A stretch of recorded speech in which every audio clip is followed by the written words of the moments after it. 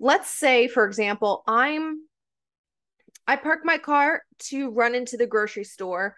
Uh i'm gone not even 5 minutes and i come outside and somebody has uh backed into my car uh in that amount of time and th- they're still there right? It's not my fault that they backed into my car. However it's now my responsibility to do something with this accident that has happened to my car i can choose i have many many options available to me one option is I get it fixed immediately. One option is that I file an insurance claim. One option is that I don't do anything with it, right? I just drive around with it smashed.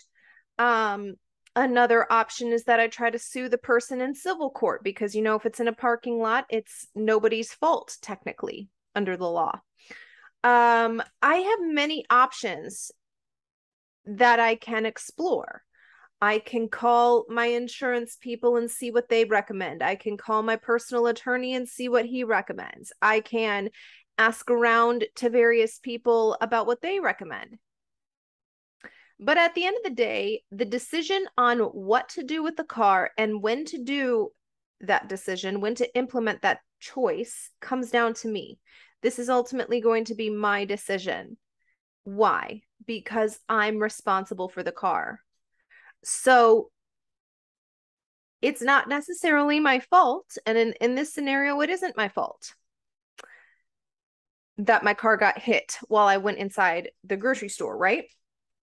Now I want to add another layer to this scenario. Let's say I park my car.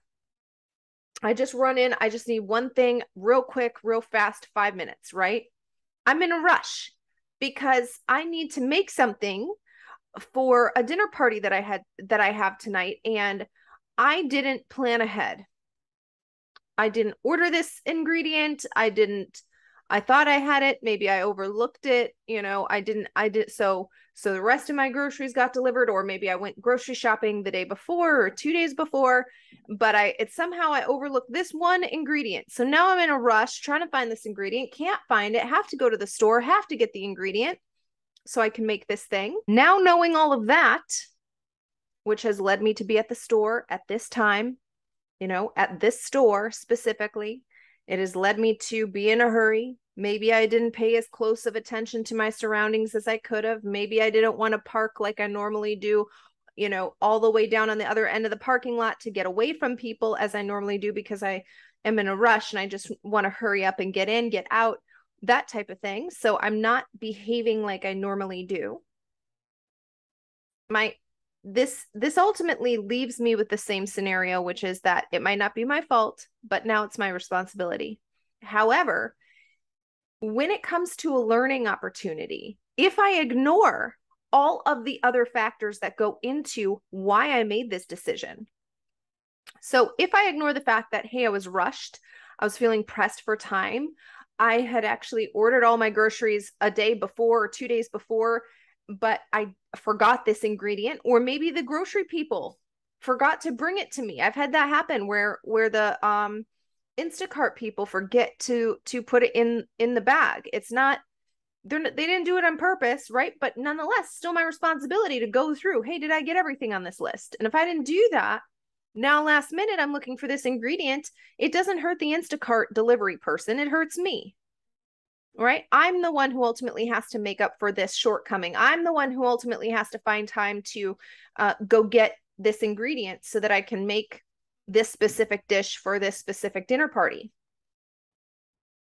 So when I when I don't take into consideration all the other factors, I miss out on an opportunity to do it better the next time and I'll usually find myself repeating the same patterns of behavior for that specific reason because I think, oh, bad luck. Take a look at what is going on beforehand that led me to make the decision to go to the store at that specific time, park in that specific place. When I want to make sure that this does not happen again, I take responsibility for it and I start looking at why was I in a rush? Why did this happen? Why didn't I go over my Instacart order and make sure I had all of the ingredients in there.